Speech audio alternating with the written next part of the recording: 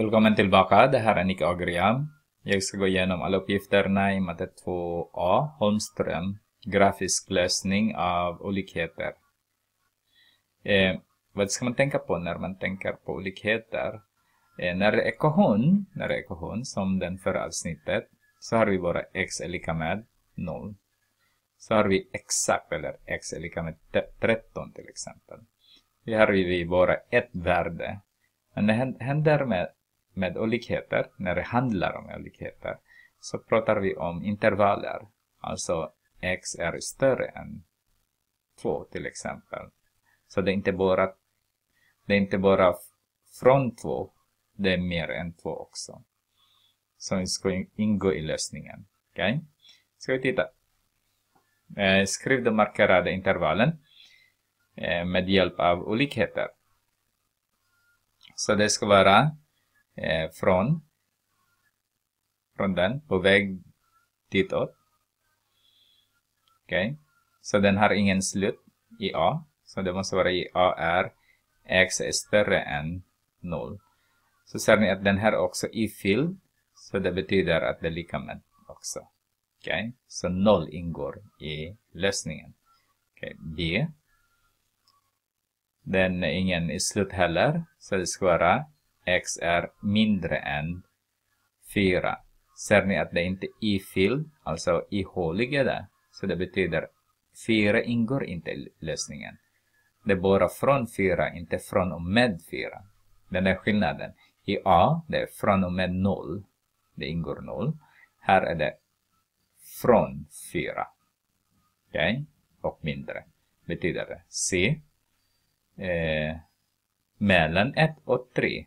Alltså x är mellan 1 och 3. Okej? Okay? Så det är större, alltså det är på väg dit, det, så det är större. Sen ända hit bara. Så mellan de tre. Lika med tecken, varför det? Därför att vi har ifyllda där. Okej, okay? D. En som är ihålig och en som är ifylld, så har vi x är från negativ 2. Inte från och med, bara från negativ 2. Men till och med 4. Okej? Okay? Därför det är ifylld. Och sen E. Det är ingen, uh, ingen slut där, så har vi x är mindre eller lika med 5. Därför att vi har också i fylld där. F det är mellan 0 och 4 så har vi x är större eller lika med 0.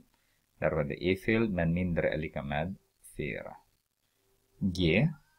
Mi, nej. Vad gör du? Det var tvärtom. Det är från eh, 5 till 9. Men det är ihålig så har vi x är större än 5 men mindre än 9. H. Jag skriver här nu då en ihålig och en i fylld så har vi x är större än negativ 7. Okay. Men mindre eller lika med negativ 3. Därför det är ihålig där. Det är ihålig. Nej, ifylld det är ihålig. Okay. Mm. Och det är i. Nu. Så har vi x är större eller lika med negativ 2. Därför det är ifylld. Men mindre eller lika med 2. Det är också ifylld. J. Det är mellan negativ 3 och 0 så har vi x är större än negativ 3 men mindre än 0. Då ser du att det är ja. eh, i, ihålig så det är därför det är ingen lika med tecken där under.